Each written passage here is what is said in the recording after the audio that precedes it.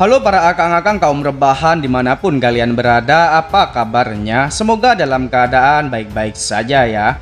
Pada kesempatan kali ini Mimin akan sedikit berubah haluan di mana pada episode kali ini kita akan membahas sebuah film horor dari negara Korea.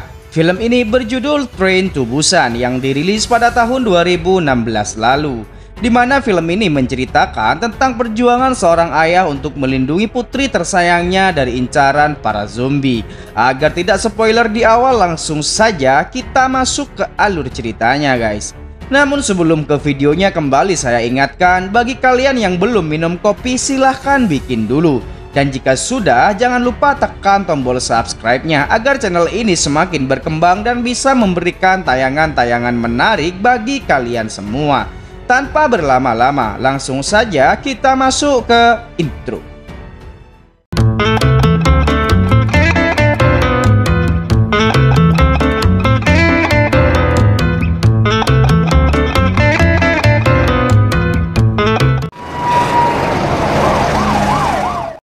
Film diawali dengan memperlihatkan seorang pengantar hewan ternak sedang menuju sebuah kota yang informasinya terjadi sedikit masalah di kota tersebut akibat sebuah kebocoran dari laboratorium bioteknologi.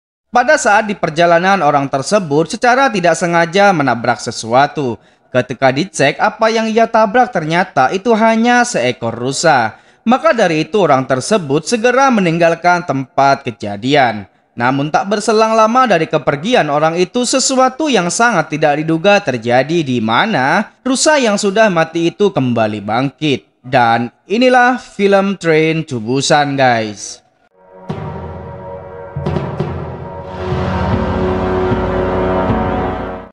Sin kemudian berpindah ke aktor utama kita yang bernama Kang Seo. Ini dia bapak-bapaknya. Di mana pada saat itu Kang Seo mendapatkan telepon dari mantan istrinya jika putrinya yang bernama Shou An ingin bertemu dengan mantan istrinya itu.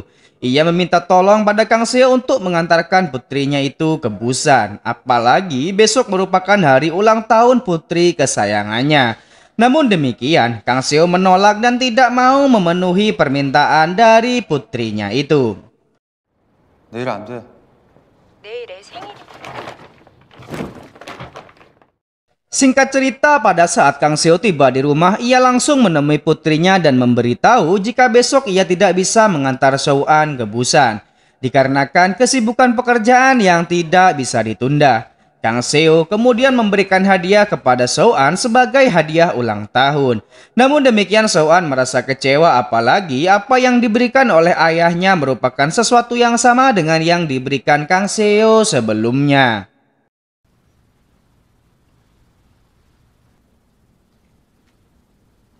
이번 어린이날 부산 엄마한테 Karena tak tega dengan cucunya itu, ibu Kang Seo mintanya untuk mengantarkan An menemui sang ibu. Dan ia juga meminta agar Kang Seo berbaikan dengan mantan istrinya tersebut.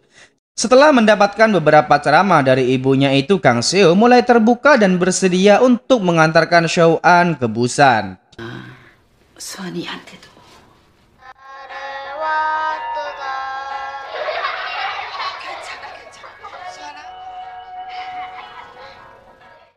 Singkat cerita, di tengah-tengah perjalanan menuju stasiun bawah tanah, hampir saja mereka berdua tertabrak oleh beberapa mobil pemadam kebakaran yang melaju dengan sangat cepat.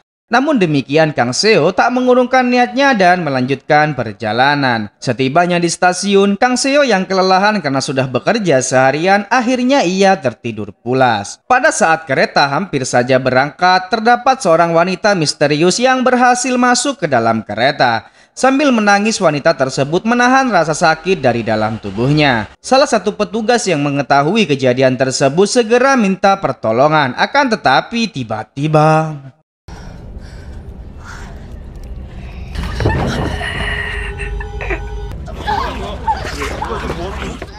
Wanita itu seketika berubah beringas dan menggigit si petugas wanita. Semua orang yang menyaksikan kejadian tersebut sangat ketakutan dan segera melarikan diri. Sementara petugas yang tergigit juga mulai menyerang dan berubah menjadi zombie.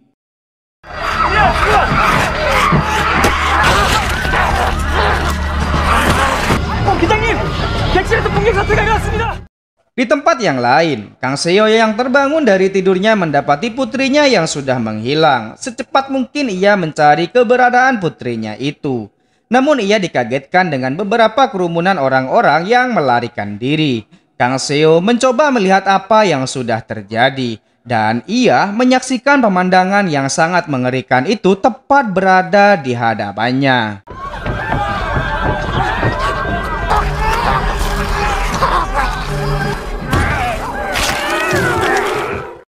Secepat mungkin Kang Seo membawa putrinya pergi dari kejaran para zombie-zombie tersebut. Sementara para akang-akang zombie terus menyerang dan merubah setengah dari orang-orang yang ada di kereta menjadi komplotan para zombie. Beruntung Kang Seo masih bisa selamat berkat bantuan dari penumpang lain.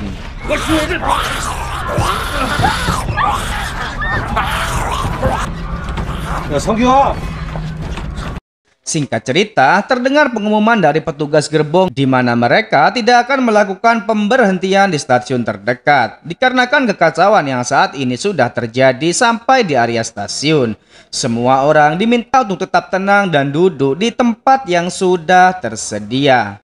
사정상 잠시 후 진입하는 천안 아산역의 승객 여러분은 안전을 위해 모두 자리에 앉 Tak berselang lama Kang Seo mendapatkan telepon dari ibunya di mana ia meminta Kang Seo untuk menjaga cucunya tersebut. Karena kekacauan yang terjadi saat ini sudah melampaui batas dan telepon itu ditutup dengan suara ibunya yang juga sudah berubah menjadi zombie.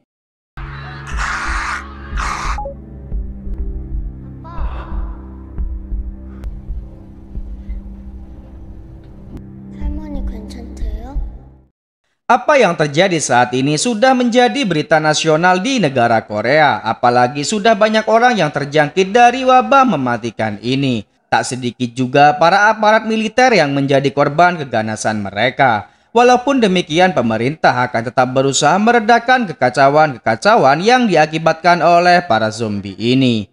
Tak berselang lama, informasi kembali diberikan oleh petugas kereta di mana mereka akan berhenti di stasiun bernama Daeseon dan para penumpang diminta untuk segera turun jika mereka sudah sampai. Tidak hanya itu, petugas juga memberitahu untuk tidak khawatir karena stasiun sudah dijaga oleh pihak militer untuk melindungi mereka semua. Untuk memastikan keamanan betul-betul terjamin, Kang Seo meminta informasi dari salah satu rekannya dan ia diberitahu jika di kota Daeseon mereka semua akan dikarantina. Karena tidak ingin membahayakan putrinya, Kang Seo meminta tolong agar ia segera dijemput dan ia bersedia memberikan apa pun yang ia inginkan. Singkat cerita, akhirnya mereka tiba di stasiun, namun anehnya stasiun sangat sepi dan tidak ada satupun orang di stasiun tersebut. Walaupun demikian, semua orang tetap turun karena hal ini merupakan sebuah perintah yang dikeluarkan oleh pemerintah setempat.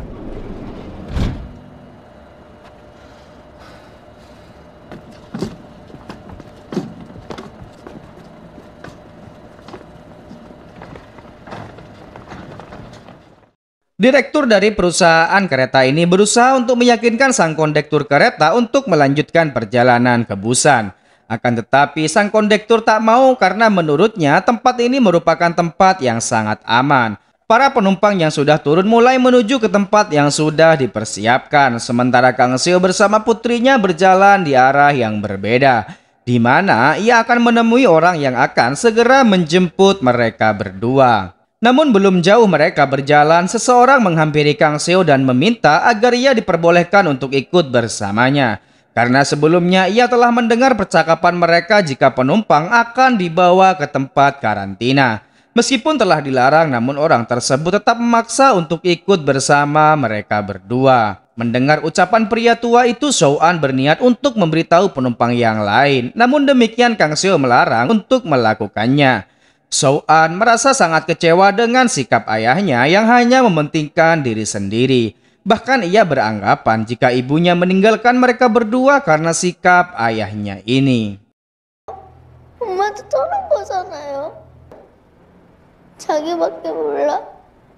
Sementara itu di tempat yang lain, para penumpang yang sudah hampir tiba di gerbang melihat para tentara yang sudah bersiaga. Akan tetapi ternyata mereka semua adalah pasukan tentara yang sudah berubah menjadi zombie. Semua orang kembali berlari untuk mencari perlindungan. Sementara Kang Seo di mana ia mendapati Pak Tua meminta tolong kepada seorang tentara. Kang Seo mengira jika tentara tersebut merupakan orang suruhan dari rekannya. Namun tak lama kemudian rekannya itu memberitahu jika orang suruhannya sudah tidak bisa dihubungi lagi. Dan ternyata dari arah belakang tentara itu dikejar-kejar oleh para zombie. Kang Seo kembali berlari untuk menyelamatkan putrinya. Beruntung putrinya tersebut ditolong oleh seorang ibu hamil dan segera membawanya pergi. Sementara Kang Seo masih berjuang untuk melawan para zombie yang berusaha menghadangnya. Beruntung tepat waktu ia masih bisa menyelamatkan diri. Sementara itu, ibu-ibu hamil yang membawa putri Kang Seo segera memasuki gerbong kereta karena kereta akan segera melanjutkan perjalanan. Menyadari kereta yang sudah bergerak, Kang Seo bersama yang lain segera bergegas. Walaupun dihadang oleh para zombie-zombie yang berkeliaran, mereka berhasil memasuki gerbong.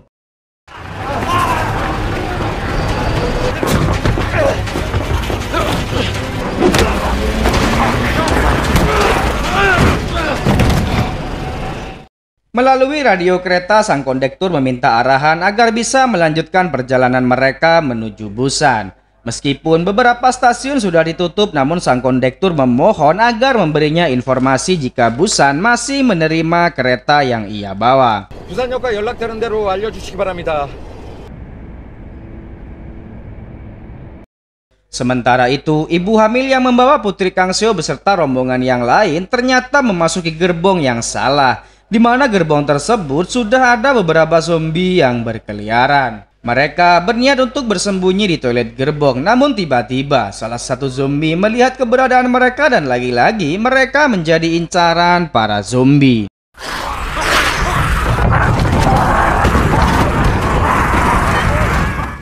Di sisi yang lain, Kang Seo dan dua penumpang sebut saja Kang Junet, suami dari ibu hamil dan Kang Eko, anak sekolahan mulai mengkhawatirkan keadaan keluarga mereka. Kang Junet berusaha menghubungi istrinya yang sedang hamil tersebut. Namun ternyata yang mengangkat telepon itu adalah Shouan putri dari Kang Seo.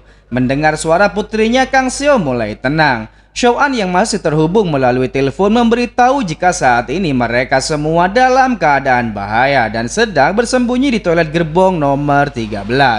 Karena tidak ada pilihan lain mereka bertiga berusaha untuk menolong mereka semua.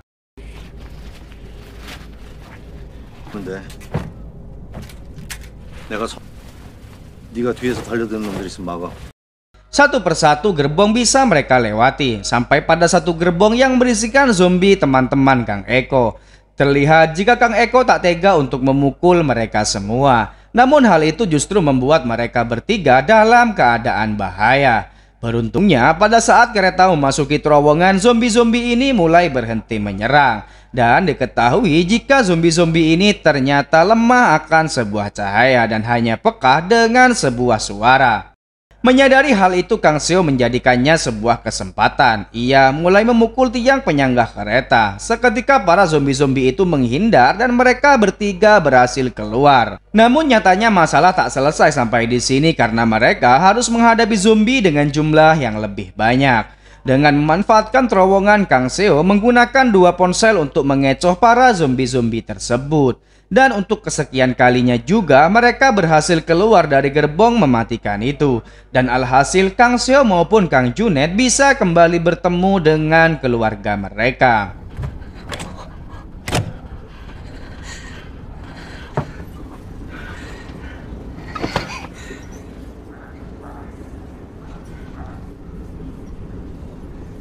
Walaupun demikian kebahagiaan itu tak berselang lama karena kereta sudah melewati terowongan dan mereka kembali bersembunyi di toilet agar tidak ketahuan oleh para zombie-zombie tersebut.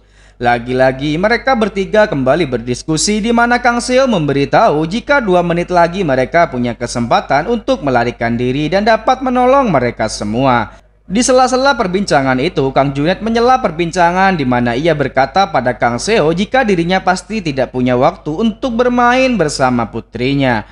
Walaupun demikian, apa yang ia lakukan akan nampak suatu saat nanti ketika putrinya itu telah tumbuh dewasa. Dan apa pun yang sebenarnya dilakukan oleh para bapak-bapak tak lain hanya demi membahagiakan keluarga mereka. Bagaimana bijak bukan kata-katanya Kang Junet? Sementara itu, Kang Eko menghubungi kekasihnya dan memberitahu jika ia bersama yang lain akan segera ke gerbongnya dan berusaha untuk menolong mereka semua.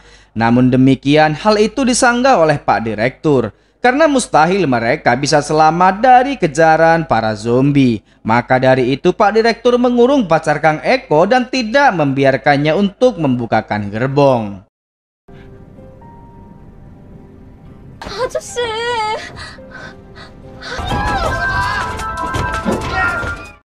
Sedangkan Kang Seo bersama yang lain memanfaatkan kegelapan dengan melewati bagasi kereta untuk menghindari para zombie-zombie ini. Namun ia tak langsung pergi menuju gerbong lain dan justru menolong bapak tua yang terjebak di sela-sela kursi. Namun naasnya mereka harus berhadapan dengan para zombie karena terowongan sudah terlewati. Kang Seo berusaha mengajak bapak tua tersebut untuk segera melarikan diri sebelum keberadaan mereka diketahui. Namun sayangnya, injakan kaleng Fanta dari babak tua membuat para zombie mengetahui keberadaan mereka. Secepat mungkin mereka berdua berusaha untuk melarikan diri. Ketegangan kembali terjadi ketika para zombie hampir saja memasuki gerbong tersebut. Beruntung Kang Junet berhasil menahan mereka dengan menggunakan pintu gerbong. Namun naas baginya karena ia harus tergigit dari salah satu zombie.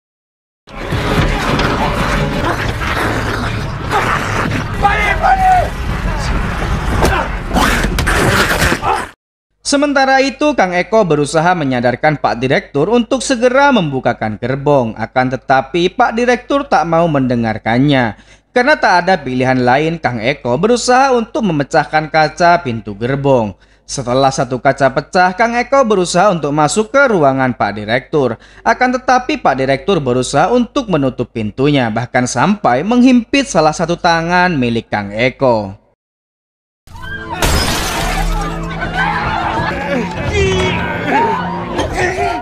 Salah satu ibu-ibu tua di sana berusaha untuk menolong Kang Eko, namun apa daya wanita tua tak bisa berbuat apa-apa. Sedangkan Kang Junet dan Kang Seo yang masih berjuang, Kang Junet meminta Kang Seo untuk segera pergi. Karena sebentar lagi ia juga akan berubah menjadi zombie. Dan sebelum pergi, Kang Junet meminta Kang Seo untuk menjaga istri dan juga calon putranya. Karena tak ada pilihan lain akhirnya Kang Sio pun pergi dan segera mendobrak pintu gerbong yang ditempati oleh Pak Direktur. Dan mereka berhasil masuk tepat waktu. Namun naas bagi salah satu wanita tua karena ia harus menjadi mangsa dari Kang Zombie. Kang Seo yang sudah muak akan kelakuan Pak Direktur hampir saja menonjoknya. Namun demikian Pak Direktur mulai memprovokasi dan mengatakan jika Kang Seo dan yang lain sudah terinfeksi. Aksi dramatis pun terjadi di mana mereka yang terhasut dengan ucapan Pak Direktur mengusir Kang Seo dan semua orang yang baru saja tiba itu. Tak segan-segan mereka akhirnya dipindahkan ke gerbong yang lain. Tidak hanya itu bahkan mereka dikunci di gerbong tersebut. Si wanita tua yang melihat temannya sudah menjadi zombie dan ia yang sudah muak dengan sikap Pak Direktur karena hanya memikirkan diri sendiri membuka pintu gerbong. Dan seketika mereka semua menjadi mangsa dari Kang Zombie. Mampus! Mampus!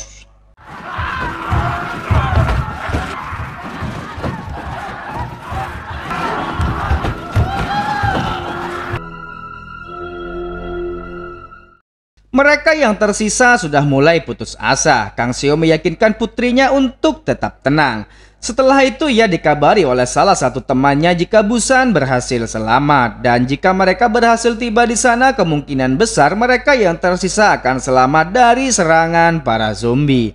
Setelah itu rekannya itu menjelaskan jika apa yang terjadi merupakan sebuah kebocoran sistem dari laboratorium bioteknologi yang sedang dikelola oleh Kang Seo. Dan setelah menyampaikan hal itu, telepon pun seketika mati. Entah sebenarnya proyek apa yang sedang ia jalankan, Kang Seo mulai membersihkan bekas darah di tangannya dan menangis seakan-akan merasakan sebuah penyesalan yang sangat dalam.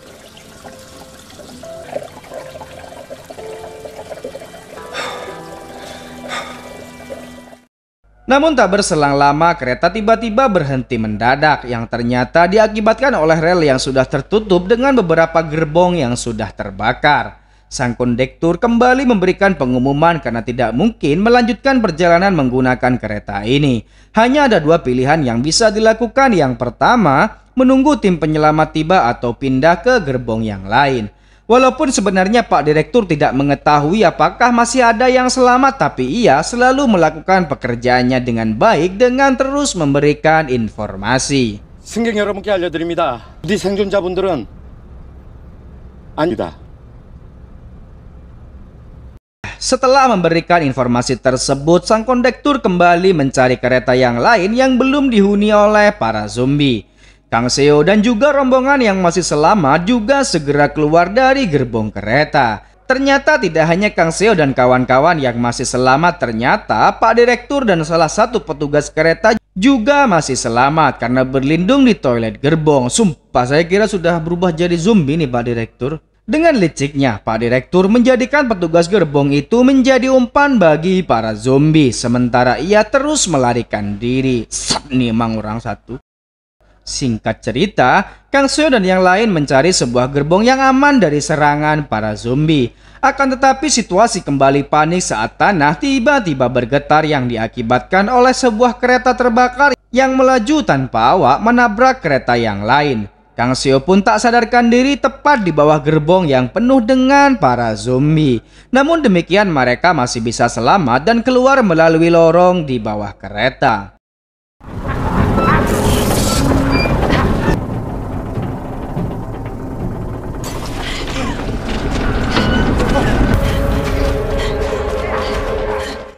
Sementara itu, Kang Eko bersama kekasihnya yang sedang mencari perlindungan tidak sengaja bertemu dengan Pak Direktur yang dikejar-kejar oleh para zombie.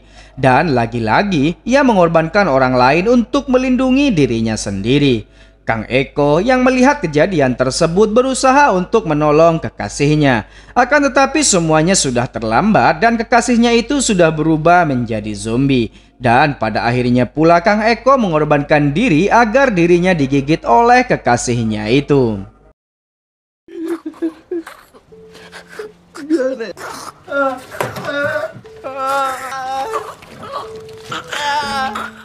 Sedangkan Pak Direktur terus melarikan diri. Sang kondektur kereta yang melihat Pak Direktur berusaha untuk menolongnya. Akan tetapi Pak Direktur lagi-lagi membuat olah dan mengorbankan sang kondektur yang berusaha untuk menolongnya itu. Kembali ke Kang Seo, di mana ia terus berlari dari kejaran para zombie menuju kereta yang sudah berjalan dan ia berhasil tepat waktu menaiki kereta tersebut. Walaupun demikian, banyak dari para zombie-zombie itu masih bergelantungan.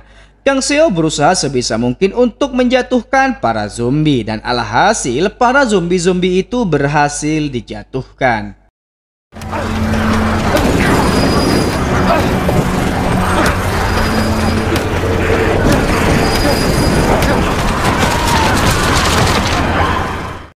Sekilas ia pun merasa aman dan hendak menuju ke tempat sang kondektur. Akan tetapi ternyata yang ada bukanlah pak kondektur melainkan sang direktur yang sudah hampir berubah menjadi zombie. Sang direktur yang masih setengah sadar memohon pada Kang Seo agar dirinya ditolong. Akan tetapi tiba-tiba...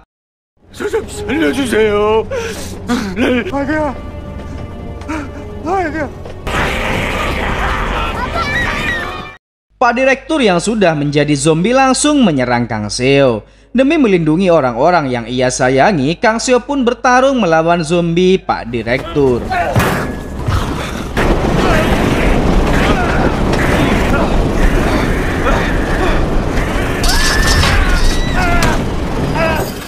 Walaupun ia berhasil menjatuhkan Pak Direktur, namun ia terkena gigitan dari gigi yang tak pernah sikat gigi itu. Karena sadar jika dirinya akan segera berubah menjadi zombie, secepat mungkin ia mencarikan tempat teraman bagi mereka berdua yang tersisa. Sebelum pergi, Kang Seo meminta ibu hamil tersebut untuk menjaga putri kesayangannya. Ia juga meminta putrinya untuk tidak pernah meninggalkan ibu hamil tersebut.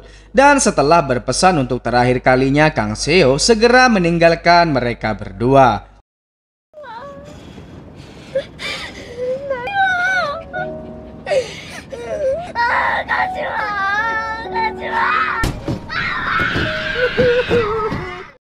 Kang Seo kembali mengingat masa-masa kecil putrinya tersebut dan setelah itu ia pun memutuskan untuk bunuh diri.